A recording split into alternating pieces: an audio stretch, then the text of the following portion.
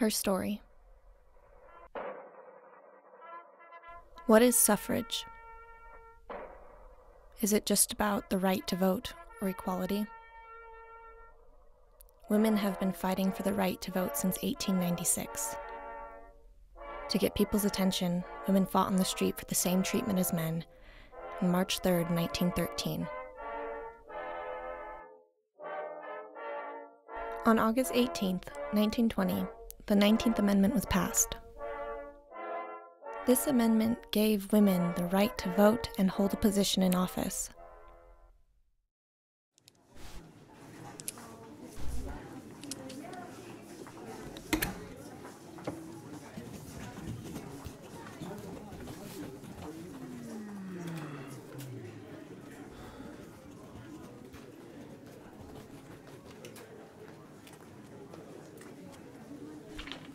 Even though they had the same rights, they were not treated the same way.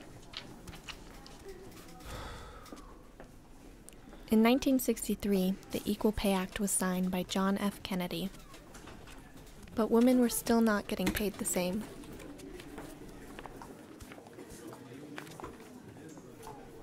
Usually, women get paid 60.7% of what men would get paid.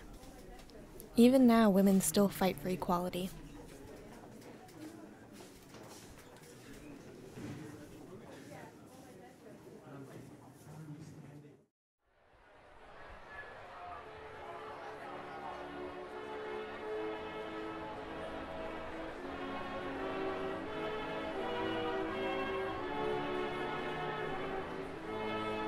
Women have come a long way, and they'll keep marching until equality is truly equal.